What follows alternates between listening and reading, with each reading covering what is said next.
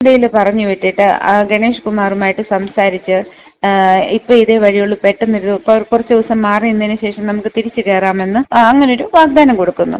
അതിന്റെ പേരിൽ അവിടെ നിന്നുകൊണ്ട് ഒരു അപ്പൊ എന്താ സംഭവം എന്ന് പറഞ്ഞാൽ ഈ ഈ ഇത് കഴിഞ്ഞ ഉടനെ ഇവരെന്ത് ചെയ്തെന്ന് പറഞ്ഞാൽ എഴുതി വാങ്ങിച്ചതിന് ശേഷം ഈ ലെറ്റർ നേരിട്ട് മുഖ്യമന്ത്രിയെ ഏൽപ്പിക്കാൻ വേണ്ടി ഷിബു ബേബിജോനോടൊപ്പം ഗണേഷ് കുമാർ ക്ലിഫ് ഹൗസിൽ വരുന്നു. ക്ലിഫ് ഹൗസിൽ രാജി സമർപ്പിച്ചതിന് ശേഷം രാത്രി ഒമ്പതേ മുക്കാലോടുകൂടി അതൊരു ട്വന്റി വൺ ആണ്. ഗുരുവേദിയോ എന്റെ ഒരു ട്വന്റി വൺ ആണ്.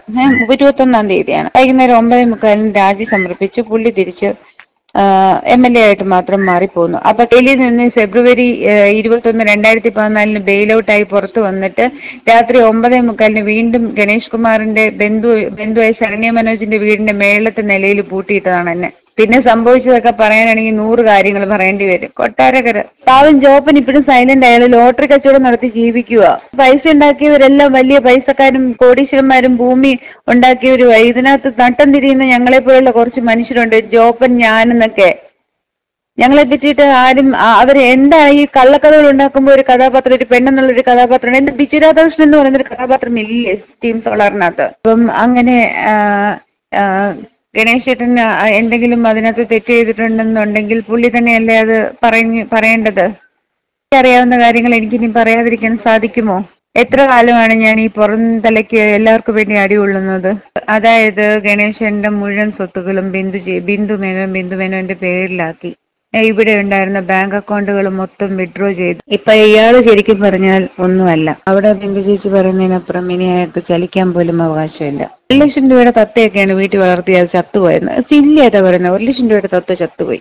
ഇവിടെ ആഹാരം വാങ്ങിക്കാൻ കഴിവില്ലാതെ ഇഷ്ടപ്പെടുന്ന ഒരുപാട് പിള്ളേര് ഒരുപാട് പേര്. അതുപോലെ റെയിൽവേ റെയിൽവേ ട്രാക്കിന് നടുക്കി ഇരുന്ന് കളിക്കുന്ന എം എൽ എ. റെയിൽവേ കുഞ്ഞു പ്ലേ പ്ലേ ഇതുണ്ടല്ലോ കുട്ടി ട്രെയിനുകൾ ട്രാക്കിലൂടെ ഓടുന്നത്. അത് ഒരു പ്ലേ റൂം ഉണ്ടാക്കിയിട്ട് കുഞ്ഞുവാവ അവിടെ ഇരുന്ന് കളിക്കുക അതവിടെ എടുത്തേക്ക് കണ്ടു ഞാൻ എന്റെ മനസ്സ് ഇപ്പോഴും ഇളം മനസ്സാണ്. എന്റെ ഇളം മനസ്സ് ഓളം പെണ്ണുങ്ങളുടെ ശാപവും വാങ്ങിച്ച് അവരെ ഒരാളെ ഒരാളറിയാതെ വഞ്ചിച്ച് പ്രേമിച്ച് ഏഹ് അവർക്കെല്ലാം അവരിൽ കുറെ പേർക്ക് കുട്ടികളുണ്ടാക്കി. ആ കുട്ടികളൊക്കെ ആഹാരം കഴിക്കാനും അതും ഇതും അമ്മയുടെ അമ്മമാര് കഷ്ടപ്പെട്ട് അവരുടെ കണ്ണിൽ വളർത്തിക്കൊണ്ടിരിക്കുന്ന കുട്ടികൾ ശാപം ഉൾപ്പെടെ വാങ്ങിക്കൂട്ടിയിട്ട് ഞാനിതേ കുഞ്ഞുവാവ കളിക്കുക എനിക്ക് അതിനേക്കാളൊക്കെ വിഷമം ഉഷേച്ചിയുടെ കൊച്ചുമോനുണ്ട്. അല്ലാപ്പല്ലാതെ അടുത്ത് പറയാതിരിക്കാൻ എനിക്ക്. ഞാൻ ആ പേര് തന്നെ യൂസ് ചെയ്യുക.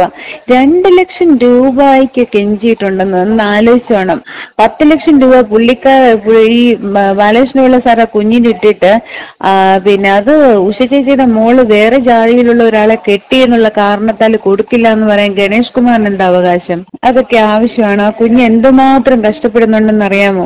ചേച്ചിയൊക്കെ പിന്നെ മാന്യതയുണ്ട്. അതുകൊണ്ടാണ് ഗണേഷിന്റെ ഒരുപാട് മുഖംമൂടികൾ വലിച്ചു കയറാതെ മിണ്ടാതിരിക്കുന്നതെന്ന് മനസ്സിലാക്കണം. എനിക്കാണെങ്കിൽ പല പല നെറ്റ് നമ്പർ അന്ന് നെറ്റ് കോൾസ് വിളിക്കാൻ അലോ ചെയ്തിരുന്ന സമയം. കോളുകളിൽ നിന്ന് നമ്പർ വരും ഫോൺ എടുക്കുമ്പം എന്താണ് നീ ചെയ്യുന്നേ? ആദ്യം. അയ്യോ ഇതാരാണ്? ആരാന്ന് പറഞ്ഞാലേ നീ മറുപടി ഉള്ളൂ. നിന്റെ അടുത്തിരിക്കുവാണ് ഗണേഷ്. അപ്പൊ ഞാൻ ചോദിച്ചു നിങ്ങൾ ആരാ സംസാരിക്കാൻ ഞാൻ ബിന്ദു അപ്പൊ ഞാൻ അപ്പൊ ഞാൻ എന്ത് ചെയ്തു? ഞാൻ കട്ട് ചെയ്തു. കട്ട് ചെയ്തിട്ട് ഞാൻ ആ ബ്ലോ ആ നമ്പർ ബ്ലോക്ക് ചെയ്യും. ഉടനെ വേറൊരു നെറ്റ് നമ്പറിൽ നിന്ന് വിളിക്കും. അങ്ങനെ ഞാൻ സഹി ഇട്ടു. പക്ഷെ മിക്ക ദിവസം രാത്രിയിൽ ഇങ്ങനെ. ദിവസം സഹി ഇട്ടിട്ട് ഞാൻ ശരത് എന്ന് പറയുന്ന ചേട്ടനെ വിളിച്ചിട്ട് പറഞ്ഞു ആ സ്ത്രീയുടെ മേലെ എന്റെ ഫോണിൽ വിളിക്കരുതെന്ന് പറയണം. അവർക്ക് അവരുടെ ഭർത്താവിനെ കീപ്പ് ചെയ്യാൻ കപ്പാസിറ്റി ഇല്ലെന്നുണ്ടെങ്കിൽ അവർ കൂടെ നടക്കട്ടെ അയാളുടെ അവർ വൈകിട്ടുമല്ല ഒരു ഫോൺ ചെയ്യാൻ പാടില്ല. അങ്ങനെ ഫോൺ ചെയ്ത് ഞാൻ പോലീസിന് അവരുടെ ഫോൺ ഉൾപ്പെടെ ഞാൻ കൊടുക്കും എന്ന് പറഞ്ഞു.